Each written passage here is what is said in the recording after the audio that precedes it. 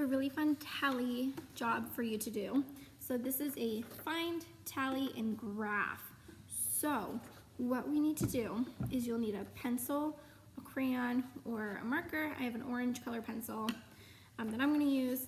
And up here has all these different pictures. Some of them are firefighters, some of them's the firefighter symbol, fire hydrant, the truck, and the hat. And what you need to do is you need to go around and count how many items um, are in the picture. So if I'm looking for the fire hydrant, I'm gonna count how many fire hydrants I see in the picture. So one, two, three, four, five. And I'm gonna write the number five here. I'm gonna do that right now. Write the number five, and then what I'm gonna do is I'm gonna come all the way over here and I'm gonna color in five boxes.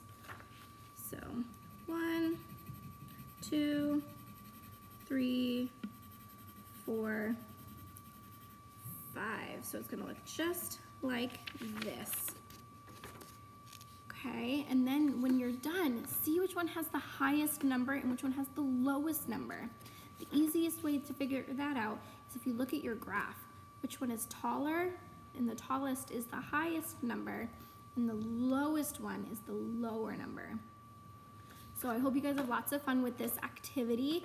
Let me know which one was the highest number in our picture, which one was the lowest number in our picture.